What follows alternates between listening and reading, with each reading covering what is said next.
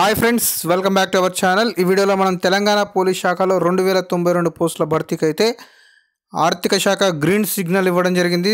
ఈ నియామకాలన్నీ కూడా ఏ విధంగా చేస్తారో దానికి సంబంధించిన పూర్తి వివరాలను ఈ వీడియోలో తెలుసుకుందాం. అయితే ఈ వివరాలకు వెళ్ళే ముందు ఛానల్ని ఇంకా ఎవరైనా సబ్స్క్రైబ్ చేసుకుని ఛానల్ అయితే సబ్స్క్రైబ్ చేసుకోండి. ఇన్ఫర్మేషన్ మీకు యూస్ఫుల్ అనిపిస్తే లైక్ చేయండి మీ ఫ్రెండ్స్కి షేర్ చేయండి. ఒక డైరెక్ట్ వీడియోలోకి వెళ్దాం.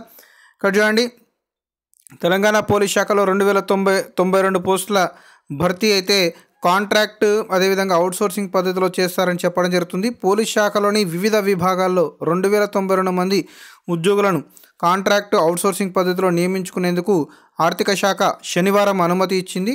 వీరిలో రెండు వందల తొంభై ఆరు మందిని కాంట్రాక్టు అదేవిధంగా పదిహేడు వందల తొంభై ఆరు మందిని అవుట్సోర్సింగ్ పద్ధతిలో నియమిస్తారని చెప్పడం జరుగుతుంది. ఈ ఆర్థిక సంవత్సరం ముగిసే వరకు వీరి సేవలను వినియోగించుకోనున్నారని చెప్తా ఉన్నారు.